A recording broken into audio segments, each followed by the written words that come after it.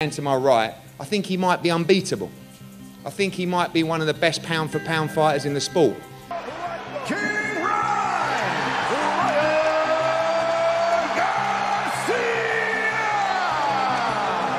Garcia! It doesn't matter the state or the place, because Devin is going to beat up Ryan's pretty little face. And it's going to be some men that are going to be happy.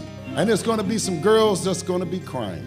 Because by round five, down goes Ryan. Outback. Oh, Sugar take it down goes Devin Haney. He may be a one-trick pony, but that trick is enough. That left hook is lethal. In my opinion, you are the face of this sport for many, many years to come. This is just another moment for you to show your greatness, your dedication, the way you carry yourself. You are a credit to the sport of boxing, to the Haney name, to the WBC, and it is an honour to be up here working with you. Saturday night, wherever you are in the world, tune into DAZN and watch these two great fighters go at it, and once again see why Devin, Devin Haney will control this sport for a long time. He's going to show you why he is, in my opinion, the future, if not the face of boxing. As frequently as it needs to happen. Oh,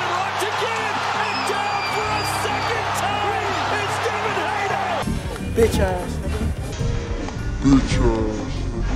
You're that aggressive. Get over Wow! Big left hand by Garcia. Rocks Haney early.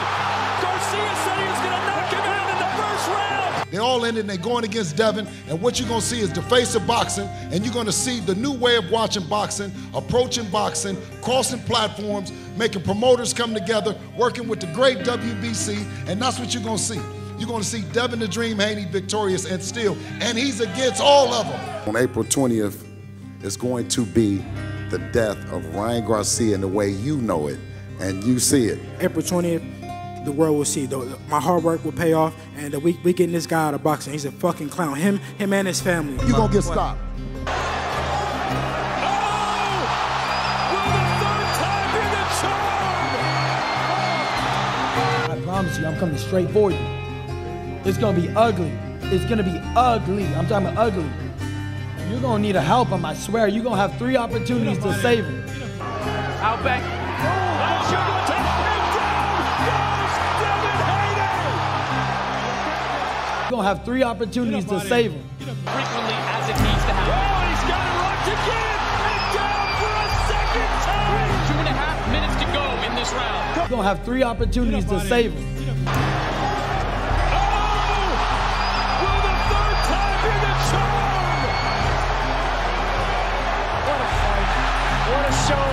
What an event. You know, this was billed as the rubber match between Ryan Garcia and Devin Haney, fight number seven. After this, I want to see eight and nine.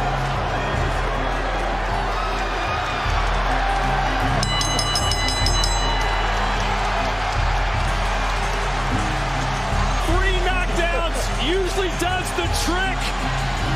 Ryan Garcia told anyone that would listen, don't worry about media. Just worry about what I'm going to do in the ring, and I will beat Devin Haney. That's a promise. Did that go the way you thought it was going to go? Nope.